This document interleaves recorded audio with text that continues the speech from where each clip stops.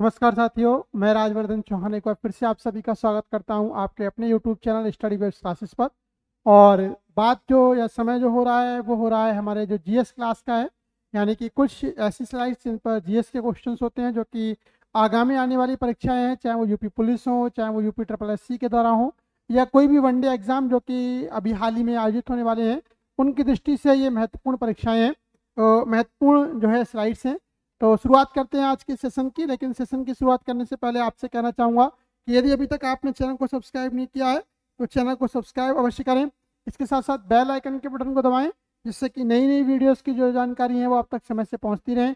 इस वीडियो को ज़्यादा से ज़्यादा शेयर करें, जिससे ज़्यादा से ज़्यादा लोग इसका फ़ायदा उठा सकें। तो शुरुआत करते हैं आज इस सेशन की, और आज के सेशन का जो पहली स्लाइड्स आप सभी के लिए ये रही। एक मिनट।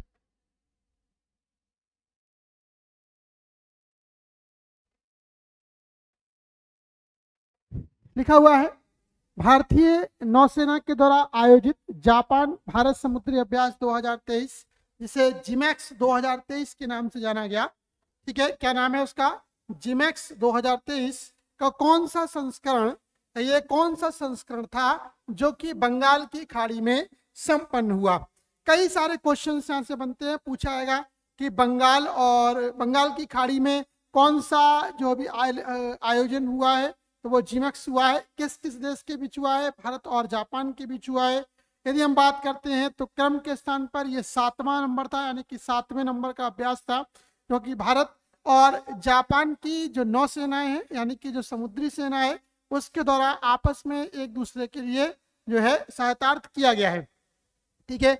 देखते हैं इसके बारे में कि भारतीय नौसेना के द्वारा आयोजित जापान भारत समुद्री अभ्यास 2023 जिसे जिमैक्स 2023 का नाम दिया गया का सातवां संस्करण बंगाल की खाड़ी में हुआ। और ये जो आ, कहते हैं कि ये जो अभियान था या कहें कि ये जो संस्करण था ये पूर्वी बेड़े के flag officer commanding rear admiral Gurcharan Singh की कमान में भारतीय नौसेना के जहाज़ कमोटा एवं शक्ति और Japan Maritime Self Defence Force JMSDF के जहाज़ समुदाय ने छह दिवसीय अभ्यास में भाग लिया है। ठीक है? दोनों पक्ष समुद्री युद्ध के सभी तीन स्तरों, यानी कि सतह पर उप सतह पर और हवा में उन्नत स्तर के अभ्यास में शामिल हुए हैं। भारत और जापान के बीच कुछ और भी सैन्य अभ्यास होते हैं। उन सैन्य अभ्यासों में एक आता है मालाबार। सही है? मालाबार कैसा है? ये संयुक्त राज्य अमेरिका, ऑस्ट्रेलिया के साथ भारत और जापान का क्या है? एक सामूहिक नौसैनिक युद्धाभ्यास है। जिसमें ये चारों देश, यानी कि संयुक्त राज्य अमेरिका, ऑस्ट्रेलिया, जापान और भारत एक साथ भाग लेते हैं। नौसेना को ज़्यादा एडवांस करने के लिए कहें कि नौसेना को जो नवीन तकनीकें हैं, उनका आदान प्रदान करने के लिए क्या है? इस अभियान का जो है आयोजन किया जाता है। एक सैन्य सैन्य मित्री करके है। ये भारत और जापान के बीच का अभियान है, जो कि वायुसेना के लिए किया जाता है। और एक सैन्य अभ्यास है जो धर्म संरक्षक के नाम से जाना जाता है। ये भी जापान और भारत के बीच होने वाला कैसा एक सैन्य अभ्यास है? तो जिमिक्स और भारत और जापान के बीच होने वाला एक सैन्य अभ्यास है। ये सातवां संस्कर था, बंगाल की खाड़ी में हुआ 2023 में हुआ, ठीक है? पूछा जाए मालाबार तो मालाबार में चार देश आते हैं, भारत, अमेरिका, ऑस्ट्रेलिया और जापान। यदि आप अगला देखते हैं तो सिनु मैत्री अभियान ये भी भारत और जापान के बीच है, लेकिन वायुसेना के लिए है, जबकि धर्म संरक्षक जो सैन्य अभ्यास है, जो सेनाएँ हैं, उनके बीच में भारत और जापान के बीच आयोजित किया जाता है। ठीक है, चलिए अगली स्लाइड की ओर बढ़ते हैं। अगली स्लाइड लिखा हुआ है कि हाल ही में भारत ने किस देश के साथ रुपए में रुपए में द्विपक्षीय व्यापार शुरू किया है? बहुत ही इंपॉर्टेंट क्वेश्चन है कि भारत अभी तक लगभग 18 देशों के साथ अपना जो व्यापार है, वो रुपए में करता है। यानी कि डॉलर की जगह वहाँ पर रुपए को जो है, रुपए जो भारतीय आधिकारिक मुद्रा है, उसको स्थान दिया गया है। तो कहीं ना कहीं ये रुपए के लिए एक महत्ता या कहें कि रुपए की जो पावर है, उसमें इंक्रीजिंग करता है। तो कहीं ना कहीं ये एक बहुत ही महत्वपूर्ण समझौता है और किसके साथ हुआ है? ये एक बांग्लादेश के साथ हुआ है। यानी कि बांग्लादेश के साथ भी अब हम अपना जो व्यापार है, उस व्यापार को किसमें करेंगे? और रुपए में करेंगे। ठीक है? बांग्लादेश के साथ ही बांग्लादेश उन्नीसवा ऐसा राष्ट्र हो गया है जो भारत के साथ क्या है और रुपए में व्यापार करेगा। इससे पहले 18 देशों के बैंक, ठीक है, अठारह देशों के साथ क्या है, हम रुपए में व्यापार कर रहे हैं। बांग्लादेश भारत के साथ रुपए में व्यापार करने वाला उन्नीसवा देश बन गया है। यदि हम बांग्लादेश की बात करते हैं तो दक्षिण एशिया में भारत का सबसे बड़ा भागीदार कौन है? बांग्लादेश है। दक्षिण एशिया की बात हो रही भैया। दक्षिण एशिया में भारत का सबसे बड़ा व्यापारिक साझेदार कौन है? बांग्लादेश है। जबकि यदि हम एशिया में बात करते हैं, भारत के संदर्भ में बात करते हैं तो भारत एशिया में बांग्लादेश का दूसरा सबसे बड़ा व्यापार कहते हैं भागीदार। यानी कि इंडिया का जो अगर बांग्लादेश का जो एशिया में थी हम बात करते हैं कि व्यापार सबसे ज़्यादा किसके साथ है तो भारत के साथ है, दूसरे नंबर पर है। जबकि यदि हम बांग्लादेश की बात करते हैं तो दक्षिण एशिया में बांग्लादेश भारत के साथ नंबर एक स्थान पर है व्यापार के करने में। अब बात ये होती है कि ये रुपया किस किस किस के मतलब किस किस के द्वारा इसका जो आदान प्रदान होगा। तो बांग्लादेश की ओर से भारत के साथ व्यापार और लेन देन इसके ईस्टर्न बैंक और सोनाली बैंक लिमिटेड के द्वारा। यानी बांग्लादेश के दो बैंक है, ईस्टर्न बैंक लिमिटेड और सोनाली बैंक लिमिटेड। ये और भारत के दो बैंक है आईसीसीआई बैंक और भारतीय स्टेट बैंक। ये दोनों बैंक जो है, आपस में रुपए का जो है आदान प्रदान करेंगे। तो भारत की ओर से ये प्रचारण भारतीय स्टेट बैंक और आईसीआईसीआई बैंक के द्वारा किया जाएगा। बहुत ही इंपॉर्टेंट कि बांग्लादेश के साथ जो रुपए का व्यापार होगा, वो किन किन बैंकों के माध्यम से होगा। यदि हम भारत की तरफ़ से बात करते हैं तो स्टेट बैंक और आईसीआईसीआई बैंक है। जबकि यदि हम बांग्लादेश की बात करते हैं तो बांग्लादेश की जो बैंक है, उसका नाम है आपका क्या कहते हैं, ईस्टर्न बैंक और सोनाली बैंक। ठीक है? ईस्टर्न बैंक और सोनाली बैंक जो है ये आपस में रुपए का जो है आदान प्रदान करेंगे। चलिए अगली स्लाइड की ओर बढ़ते हैं। अगली स्लाइड क्या है? चौतीसवीं अंतर्राष्ट्रीय जीव विज्ञान ओलंपियाड ने भारत पदक तालिका में शीर्ष पर रहा और इसने चार स्वर्ण पदक हासिल किए हैं। यदि हम अब तक के जो ओलंपिक, जो जो जीव विज्ञान ओलंपियाड की बात करते हैं, जीव विज्ञान ओलंपियाड की बात करते हैं तो भारत अभी तक इसमें इस बार को छोड़कर अभी तक जितने भी आयोजन हुए, यानी कि थर्टी थ्री आयोजन हुए हैं, उनमें कभी भी शीर्ष पर नहीं पहुँचा था। लेकिन अब की बार, यानी कि चौंतीसवें इस ओलंपियाड में भारत शीर्ष पर पहुँचा है और यह आयोजन संयुक्त अरब अमीरात में किया गया। ठीक है? यह आयोजन कहाँ पर हुआ? संयुक्त अरब अमीरात के आईबीओ इसके तीन से ग्यारह जुलाई के बीच इंटरनेशनल बायोलॉजी ओलंपियाड आईबीओ की फुल फॉर्म है इंटरनेशनल बायोलॉजी ओलंपियाड ये तीन से ग्यारह जुलाई के बीच संयुक्त अरब अमीरात के बीच में संयुक्त अरब अमीरात में किया गया। संयुक्त अरब अमीरात में जो है भारत के साथ सिंगापुर भी इसमें शीर्ष पर रहा है। तो लिखा हुआ है, भारत के अलावा सिंगापुर ये एकमात्र ऐसा देश था जिसने चार स्वर्ण पदक हासिल किए। कुल मिलाकर उनतीस स्वर्ण पदक प्रदान किए गए, जिसमें चार भारत को चार जो है किसके हिस्से में आए हैं सिंगापुर के। तो कहीं ना कहीं भारत इसमें जो है विजयी रहा है। बहुत ही महत्वपूर्ण की आई यानी कि जो आपका इंटरनेशनल बायोलॉजी ओलंपियाड है, उसमें शीर्ष पर कौन रहा है? इसमें शीर्ष पर रहा है भारत और भारत की ओर से ये चार पदक हासिल किए गए हैं। ठीक है, बेंगलुरु से कर्नाटक, बेंगलुरु, कर्नाटक से ध्रुव आडवाणी के द्वारा, कोटा, राजस्थान से ईशान पेटनेकर के द्वारा, जालना, महाराष्ट्र में एक छावड़ा के द्वारा और रिसाली छत्तीसगढ़ से रोहित पांडा के द्वारा क्या है? ये स्वर्ण पदक हासिल किए गए। अगला क्वेश्चन फीफा ने किस देश से हाल ही में प्रतिबंध को हटा लिया है? बहुत ही इंपॉर्टेंट क्वेश्चन फीफा क्या है? फीफा एक वैश्विक निकाय है जो कि अंतर्राष्ट्रीय फुटबॉल, जो संघ है, यानी कि जो फुटबॉल की संस्था है, सर्वोच्च संस्था है, निकाय संस्था है, यानी कि फुटबॉल से संबंधित फुटबॉल एक खेल है। तो इस खेल से संबंधित नियम बनाने वाली एक वैश्विक संस्था जिसका नाम है फीफा इस फीफा की यदि हम बात करते हैं तो इसकी स्थापना 1904 में की गई। इसका जो मुख्यालय है वो कहाँ पर है? ज्यूरिक स्विट्जरलैंड में है। ज्यूरिक स्विट्जरलैंड में है। और इसके अध्यक्ष ज्ञानी इन्फेंटिनो है। इस फीफा के द्वारा जो है, जिम्बाब्वे पर लगे हुए प्रतिबंधों को हटा दिया गया है। यानी कि ओलंपिक के जो क्वालिफायर मैच होने वाले हैं, उन ओलंपिक क्वालिफायर मैचों में जिम्बाब्वे के द्वारा पार्टिसिपेट किया सकेगा। यानी कि अब फीफा के द्वारा जो भी मैच आयोजित किए जा रहे हैं, जिन पर फीफा का नियंत्रण है, या फीफा जहाँ पर मुख्य कार्यदायी संस्था है तो वहाँ पर क्या है कि अब जिम्बाब्वे उन सभी मैचों में क्या है भाग ले सकेगा। तो यही क्वेश्चन है कि फुटबॉल की वैश्विक नियामक संस्था फीफा ने हाल में किस देश पर विश्व टूर्नामेंट में भाग लेने से प्रतिबंध हटा दिया है? जिम्बाब्वे से ये प्रतिबंध हटाया गया है। ठीक है? जिम्बाब्वे फुटबॉल एसोसिएशन के जो है, इसको जो प्रतिबंध फीफा के द्वारा लगाए गए थे, इन प्रतिबंधों को फीफा के द्वारा हटा लिया गया और जिम्बाब्वे अब किसी भी प्रतियोगिता में भाग ले सकेगा। अगली स्लाइड की ओर। हाल ही में चर्चा में एक युद्ध है जो रूस और यूक्रेन के बीच हो रहा है। रूस यूक्रेन पर भारी पड़ रहा है, जबकि यूक्रेन नाटो सदस्य, जो नाटो देश है, उनका एक सदस्य देश है। तो नाटो देशों के द्वारा अपने सदस्य देश, यानी कि यूक्रेन के लिए बहुत सारी सहायता राशि उपलब्ध कराई जा रही है। बहुत सारी चीज़ें जो हैं, चाहे वो रसद से संबंधित हो, चाहे वो युद्ध से संबंधित हो, चाहे वो दवाइयों से संबंधित हो, वो यूक्रेन के लिए प्रोवाइड की जा रही हैं। तो इसी क्रम में जो है, ब्रिटेन के द्वारा रूसों के यूक्रेन के लिए जो है, क्या है जो उपकरण है, सैन्य उपकरण है, उनके लिए एक राहत सहायता अभियान जो है, या कहें कि राहत पैकेज की घोषणा की गई है, और ये 64.7 मिलियन डॉलर का होगा। ठीक है तो अगर पूछा जाए किस देश ने 64.7 मिलियन डॉलर का एक सहायता, या कहें कि जो आपका पैकेज है, वो यूक्रेन को दिया है तो ये ब्रिटेन ने दिया है। और यदि हम यूक्रेन की बात करते हैं तो यूक्रेन की राजधानी है कीव। राष्ट्रपति है व्लादिमीर जेलेंस्की, ठीक है। प्रधानमंत्री है डेनिस श्यामल और मुद्रा है रिवन्या, ठीक है।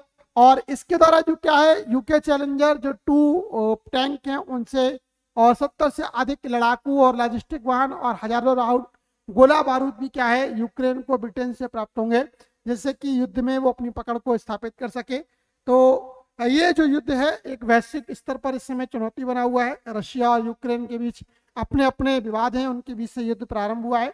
लगभग एक वर्ष से भी ज़्यादा इस युद्ध को हो चुका है और जो नाटो सदस्य, जो नाटो देश है, वो क्या है, यूक्रेन की सहायता कर रहे हैं, जबकि रूस अकेले दम पर क्या है, इस युद्ध को लड़ रहा है। अगली slide L N T Larsen and Toubro company है। लार्सन एंड टोब्रो कंपनी है। ये एक कहते हैं कि भारत की प्रतिष्ठित कंपनियों में एक है। इसने अमेरिकी नौसेना के साथ एक मास्टर शिप रिपेयर समझौते पर हस्ताक्षर किया है। तो पूछा जाए किस भारतीय, क्वेश्चन यही है कि किस भारतीय बहुराष्ट्रीय समूह कंपनी ने रक्षा क्षेत्र में दोनों देशों के बीच साझेदारी को और मज़बूत करने के लिए अमेरिकी नौसेना के साथ मास्टर शिपयार्ड समझौते पर हस्ताक्षर किए हैं? तो लॉर्सन एंड टुब्रो एल के द्वारा क्या है? इस समझौते पर हस्ताक्षर किए गए हैं। और ये अगर हम बात करते हैं, इससे पहले भी U S N S Salvor जहाज़ को यात्रा मरम्मत के लिए कटुपुल्ली शिपयार्ड में प्राप्त किया गया था।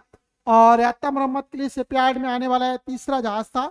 इससे पहले U S N S Charles Drew और U N S Matthew Perry का कार्य शुरू किया गया उस समय पर इसके लिए जो कंपनी है, उसके द्वारा पूरा किया गया। यदि हम लार्सन एंड टुप्रो की बात करते हैं तो लार्सन एंड टुप्रो जो है का कटुपुल्ली से प्यार चेन्नई के पास दक्षिणी रक्षा गलियारे में एक प्रमुख नोट सैन्य स्लिफ्ट कमांड जहाजों की यात्रा मरम्मत का कार्य करने का एक महत्वपूर्ण पत्तन है। वहाँ पर जो क्या है, इसकी कहें कि ये कार्य कर रहा है। तो लार्सन एंड टुब्रो के द्वारा जो अमेरिकी नौसेना है, उसके जहाज़ों की जो रिपेयरमेंट है, यानी कि जो रिपेयरिंग का काम है, उसका एक जो है कॉन्ट्रैक्ट हासिल किया गया है। और इससे पहले भी लार्सन एंड टोब्रो के द्वारा क्या है कि अमेरिकी नौसेना के तीन जहाज़ों को जो है मरम्मत सॉरी दो जहाज़ों को समय से पहले ही मरम्मत करके पूरा किया गया है। अगली स्लाइड की ओर बढ़ते हैं। लिखा हुआ है कि हाल ही में आरबीआई ने अपर्याप्त पूंजी के कारण दो बैंकों के लाइसेंसों को रद्द कर दिया है। बहुत ही इंपॉर्टेंट है, अभी आरबीआई के द्वारा बड़े सख्त से सख्त कदम उठाए जा रहे हैं, जिससे कि जमाकर्ताओं के धन की सुरक्षा हो सके। तो जब आरबीआई ने देखा कि ये दो बैंक ऐसे हैं जो जमा राशि को भुगतान करने में असमर्थ हैं या कहें कि जो उनकी जमा राशि है, उस पर वो कहीं पर भी ब्याज देने की स्थिति में नहीं है। कहें कि जो ग्राहकों का या कहें कि जो जमा करता है, उनका धन सुरक्षित नहीं है। इस दृष्टि को देखते हुए आरबीआई ने जो कर्नाटक की एक सहकारी बैंक है, श्री शारदा महिला सहकारी बैंक, तुमकुर, कर्नाटक, और श्री हरिहरेश्वर सहकारी बैंक, वाई सतारा का लाइसेंस रद्द कर दिया है। ठीक है? वो दो दो बैंक के कौन सी हैं? श्री शारदा महिला सहकारी बैंक, तुमकुर, कर्नाटक और हरिहरेश्वर सहकारी बैंक बाई सतारा का जो लाइसेंस है वो रद्द कर दिया है। अब जब ये लाइसेंस रद्द कर दिया गया आरबीआई के द्वारा तो ये दोनों बैंक के तत्काल प्रभाव से, यानी कि 11 जुलाई का जो टाइम दिया गया था इनके लिए 11 जुलाई 2023 से क्या है, इनका बैंकिंग कारोबार जो है बंद हो जाएगा, यानी कि ना तो ये किसी का पैसा अपने पास जमा करेंगी और ना ही ये किसी को जो पैसा है भुगतान करेंगी। यदि डीआईजीसी की बात करते हैं डीआईसीजीसी ने अपनी जमा राशि की जो पाँच लाख रुपए तक की राशि है, वो जमा बीमा दावा दावा राशि प्राप्त करने के हकदार होंगे। यानी कि इसमें जो लोग हैं, उनमें लगभग लगभग सभी के, क्योंकि पहले वाले में 97.82 और दूसरी वाली में जो है 99.96 परसेंट के जो उनके कहते हैं कि जमा करता है, उनकी पूरी राशि उनके लिए प्रदान की जाएगी, क्योंकि जो भी राशि है वो अब आरबीआई के कवर में के स्वामित्व क्षेत्र में आ चुकी है।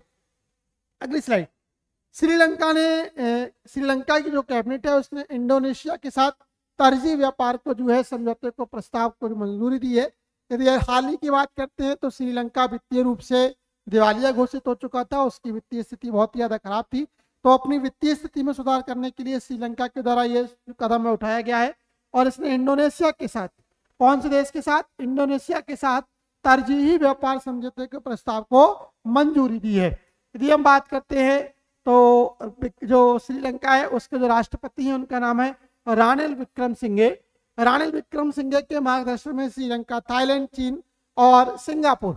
श्रीलंका, थाईलैंड, चीन और सिंगापुर के साथ समझौते के कुछ हिस्सों सहित कई समझौतों पर बातचीत तेज़ी के साथ कर रहा है। इसके साथ साथ रानल विक्रम सिंघे ने निर्यात आयात व्यापार को बढ़ावा देने के लिए कई देशों के साथ समझौते का प्रस्ताव रखा है, जबकि इंडोनेशिया के साथ एक तरजीही व्यापार के प्रस्ताव को जो है, दोनों देशों के द्वारा आपस में मंजूरी प्रदान कर दी गई है। ठीक है? और इसके लिए दक्षिण पूर्व एशियाई राष्ट्र संघ यानी कि आसियान के जो महासचिव हैं, जिनका नाम है काओ किम होन, बहुत ही इंपॉर्टेंट क्वेश्चन कि जो आसियान के इस समय महासचिव है वो कौन है? काओ किम होन। इन्होंने क्या इसकी प्रशंसा की है? जैसे कि श्रीलंका की जो वित्तीय स्थिति है, कहें कि जो उनकी आर्थिक स्थिति है, उसमें सुधार हो सके और इसके लिए आसियान के दौरान की प्रशंसा भी की गई है। चलिए अगली स्लाइड पे बढ़ते हैं। अगली स्लाइड क्या है? चीन ने एक अजूब कारनामा हासिल किया है और चीन ने स्पेस एक्स यानी कि स्पेस में मीथेन से चलने वाला अपना पहला विमान जो है, भेज दिया है। इससे पहले ये काम अमेरिका के द्वारा किया गया था, लेकिन अमेरिका जो था, इस कार्य में असफल रहा था। लेकिन चीन ने ये काम जो है स्पेस एक्स एक की प्राइवेट कंपनी है जिसने दावा किया था कि वो अपना जो विमान है वो मीथेन ईंधन से, यानी कि सॉरी हाइड्रोजन मीथेन ईंधन से जो है वो अंतरिक्ष में भेजेगा। क्योंकि मीथेन ईंधन अन्य ईंधनों की तुलना में ज़्यादा इसकी पावर है, ज़्यादा समय तक चलता है। तो चाइना ने ऐसा काम पहले कर लिया है। चाइना अब स्पेस एक्स में मीथेन से चलने वाले अपने रॉकेट भेजने में सक्षम है और इस प्रकार ऐसा करने वाला वह दुनिया का पहला देश बन गया है। लिखा हुआ है, कौन सा देश अंतरिक्ष में नए मीथेन संचालित वाहक रॉकेट को सफलतापूर्वक लॉन्च करने वाला पहला देश बन गया है? पहला देश कौन बन गया भैया? चीन बन गया है। चीन एक ऐसा पहला देश है जो कि अंतरिक्ष में अब किसने अपने मीथेन से चालित विमानों को भेजेगा? देखिए एलन मस्क की एक कंपनी है स्पेस एक्स इस स्पेस एक्स को पछाड़कर चीन अंतरिक्ष में नए मीथेन संचालित वाहक रॉकेट का सफलतापूर्वक लॉन्च करने वाला पहला देश बन गया है। इसकी कंपनी है एयरोस्पेस कंपनी, लैंड स्पेस के जूके टू। ठीक है? लैंड स्पेस के जूके टू ने यह कारनामा हासिल किया है और इसने गोभी के रेगिस्तान में जियाउकॉन सेटेलाइट लॉन्च सेंटर से उड़ान भरी और अपने इस उड़ान को पूरा किया है। ठीक है? पिछले साल चौदह दिसंबर के बाद, असफल परीक्षण के बाद जूके टू भाग रॉकेट का दूसरा उड़ान मिशन था, जिसमें यह कामयाब हुआ। यदि हम बात करते हैं तो अब तरल ऑक्सीजन, मीथेन रॉकेट प्रौद्योगिकी दौड़ में सबसे आगे चल रहे हैं। क्योंकि ये इंजन उच्च प्रदर्शन और कम परिचालन लागत के लिए जाने जाते हैं। ठीक है? तो अब जो चीनी कंपनी है, वो इस क्षेत्र में आगे आ गई है और सफलतापूर्वक नंबर एक इस पोजीशन पर पहुँच चुकी है। अगली स्लाइड के लिए लिखा हुआ है, भारत में फिनटेक स्टार्टअप के लिए नया तुरंत कार्यक्रम लॉन्च किया गया है। ठीक है? फिनटेक स्टार्टअप के लिए एक नया तुरंत कार्यक्रम लॉन्च किया गया है और इस कार्यक्रम के लिए, ठीक है, किसके साथ साझेदारी हुई है, इसके साथ पे यू के साथ साझेदारी हुई है। ठीक है? तो क्वेश्चन देखिएगा, किस डिजिटल भुगतान एग्रीगेटर ने शुरुआती चरण के भारतीय स्टार्टअप के लिए एक fintech accelerator program Infinity launch करने के लिए अमेजॉन वेब सर्विस और चिराटे वेंचर्स के साथ साझेदारी की है? तो पे यू नामक एक जो, क्या कहते हैं, आपका वेब सर्विस है, या कहें कि एक, ये प्रोग्राम है, या कहें कि एक स्टार्टअप है, उसने इसके लिए जो है साझेदारी की है। इसके अलावा यदि हम बात करते हैं तो ये क्या है कि जरा इसके बारे में पढ़ लें कि डिजिटल भुगतान एग्रीगेटर पेयू ने शुरुआती चरण के भारतीय स्टार्टअप के लिए एक fintech accelerated program Infinity launch करने के लिए अमेजोन वेब सर्विस यानी कि एफ़ और चिराटे वेंचर के साथ साझेदारी की है। यह 45 दिनों का कार्यक्रम होने जा रहा है, जिसमें शुरुआती चरण के फिनटेक स्टार्टअप को एक साथ लाने और उनके विकास का समर्थन करने के लिए मेंटरशिप और पच्चीस हज़ार अमेरिकी डॉलर तक के ए एक्टिवेटेड क्रेडिट की पेशकश की जाएगी ताकि स्टार्टअप को ए पर 200 से अधिक पूर्ण रूप से प्रतिबंध, प्रदर्शित सेवा तक पहुँचने में मदद मिल सके। तो इस प्रकार भारत में फिनटेक स्टार्टअप के लिए पेयू के द्वारा जो है इस काम को किया गया है। ये एक इन्फिनिटी प्रोग्राम है, ठीक है? और इन्फिनिटी लॉन्च प्रोग्राम है, जिसको दो अमेजन वेब सर्विस और चिराटे वेंचर्स के साथ पेयू जो है स्टार्टअप कंपनी उसके द्वारा किया गया है। तो ये थे आज की कुछ हमारी स्लाइड्स यदि आपको हमारी ये स्लाइड पसंद आई हो तो इस वीडियो को ज़्यादा से ज़्यादा शेयर करें। यदि आपके कुछ सुझाव हैं तो कमेंट बॉक्स में अपने सुझाव भी दे सकते हैं। निश्चित ही हमारी टीम के द्वारा उस पर काम किया जाएगा। आज के लिए फ़िलहाल इतना ही। धन्यवाद।